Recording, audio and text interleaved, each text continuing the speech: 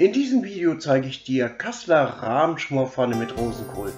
Sau, ähm, Entschuldigung, so lecker. Ich bin Kalle und du bist bei Kochst mit Kalle. Herzlich willkommen.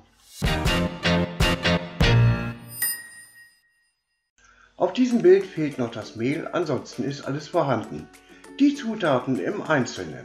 400 Gramm Kassler Nacken, 450 Gramm Rosenkohl, 2 kleine Zwiebeln, ca. 500 ml klare Gemüsebrühe, 400 ml Sahne, 300 ml Milch, 2 Esslöffel Mehl, Speiseöl oder Pflanzencreme. Alle Zutaten nochmal zum Nachlesen unter diesem Video. Und los geht's! Die Zwiebeln in kleine Würfelchen schneiden und den Rosenkohl nach Packungsanleitung kochen. Das Öl oder die Pflanzencreme in einem Topf erhitzen und die Zwiebeln dazugeben. Hier dürfen sie schwitzen, bis sie glasig werden.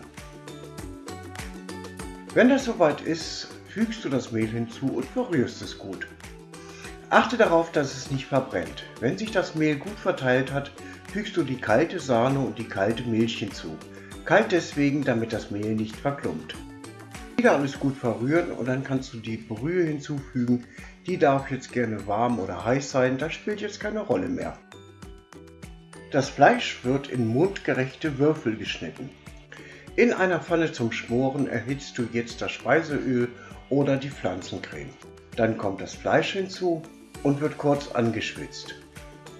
Das Ganze jetzt mit dem Rest der Brühe auffüllen. Deckel drauf und dann darf das Ganze 20 Minuten lang schmoren. Nach 20 Minuten gibst du die vorbereitete Soße hinzu. Jetzt nochmal alles 5 Minuten lang schmoren lassen. Auf der Soße schwimmt jetzt viel Fett. Die Soße sollte deswegen entfettet werden. Nach dem Entfetten fügst du schließlich noch den Rosenkohl hinzu und lässt alles nochmal 5 Minuten lang köcheln.